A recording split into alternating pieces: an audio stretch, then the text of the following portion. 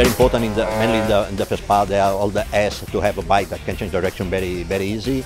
Top speed also is important, and the braking because the, the back straight it's uh, quite long. And then in the in the last part of the circuit also need the bike that is more close corner than the first part. And the S need the bike that, can change direction in the, the fast speed, and the second the, the last part need the bike that change direction easily, but even in the low speed. So it's it's a, you can say it's a circuit quite standard because we need to to to adjust the bike for many different positions.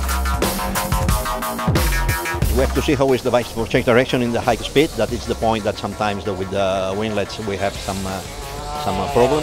And then to see how, is, how we can manage the, the wheelie by uh, the electronics, by anti-wheelie. If this is enough, maybe we can go without the wings. But if it's, uh, we have some uh, issue on the acceleration, then maybe we have to use. But maybe we need uh, some different package to have a good agility. the is different from last year. So we have to see now how is the, the combination working.